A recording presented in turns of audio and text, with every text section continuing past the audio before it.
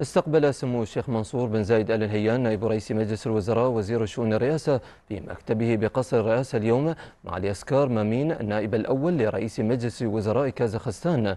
يرافقه معالي قنات بوزيم باييف وزير الطاقة وسعادة قنات ألبيس باييف رئيس الشركة الوطنية لسكك الحديد في الجمهورية. وجرى خلال اللقاء بحث العلاقات الثنائية بين البلدين في المجالات الاستثمارية والتنموية وغيرها من المجالات. التي تخدم مصالح البلدين إضافة إلى استعراض عدد من المواضيع ذات الاهتمام المشترك.